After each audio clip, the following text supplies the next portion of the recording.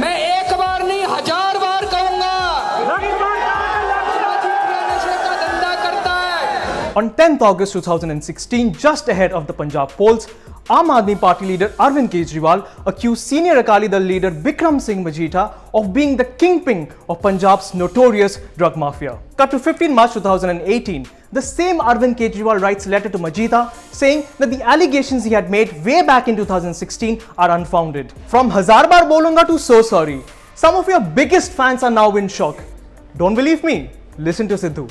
पंजाब के लोग इन्हें विकल्प मानते थे और आज पंजाब को यह लग रहा है कि इससे बड़ा विश्वासघात निजी स्वार्थ के लिए केजरीवाल साहब पंजाब के साथ नहीं कर सकते थे। Even your biggest leader in Punjab Bhagwant Mann doesn't find funny in tweet he president of the Aam Aadmi Party Punjab unit while adding that he will continue his fight against the menace of drugs in the state of Punjab so Bhagwat Mann has resigned so has your Punjab vice president Aman Arora Your sorry statement has turned itself into a self-destructive button for the Aam Aadmi Party in Punjab.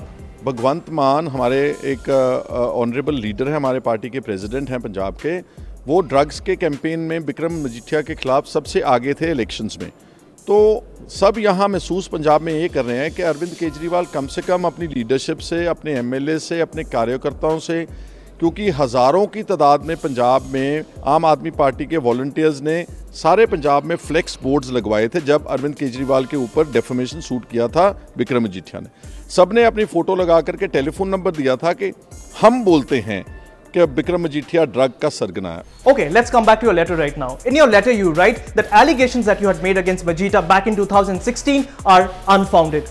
How exactly did you arrive at this conclusion? On 16 March 2018, the Punjab government told the Punjab and Haryana High Court that a special report created by one of Punjab's top police officers on Majitia's alleged involvement in the drug racket is being reviewed by a two-member committee.